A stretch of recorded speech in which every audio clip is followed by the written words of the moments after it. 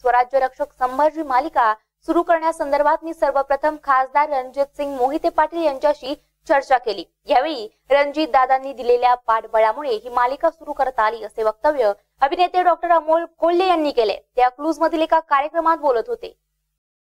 विजयसिंग मोहिते पाटील क्रीडा संकुलावर सहकार महर्षी शंकरराव मोहिते पाटील यांची एकशे एकवी जयंती कर्मवीर बाबासाहेब माने पाटील यांची पन्नासावी पुण्यतिथी आणि खासदार विजयसिंग मोहिते पाटील यांच्या अमृत महोत्सवी वाढदिवसांचे औचित्य आणि जयंती समारंभ समितीच्या वतीने आयोजित रयतेचा राजा राजा शिवछत्रपती या महानाट्याच्या उद्घाटन प्रसंगी ते बोलत होते.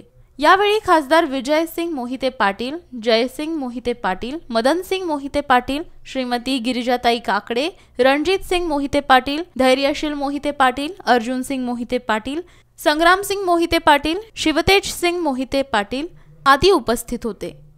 यावेळी बोलताना डॉक्टर अमोल कोल्हे म्हणाले छत्रपती संभाजी महाराजांच्या जीवनावर मालिका बनवण्याचा मानस पहिल्यांदा रणजित सिंग मोहिते पाटील यांच्याकडे बोलून दाखवला होता.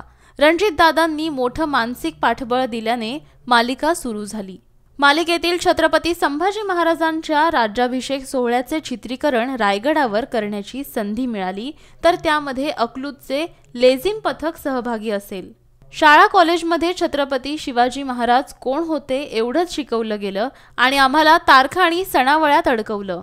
परंतु छत्रपती शिवाजी महाराज काय होते त्यांचा अभ्यास होणे महत्त्वाचे आहे. आठराबगड जातीच्या माणसाला एकत्र करून विधायक ध्येय जागृत करून रयतेचं राज्य उभं करण्याचं काम शिवछत्रपतींनी केलं आहे.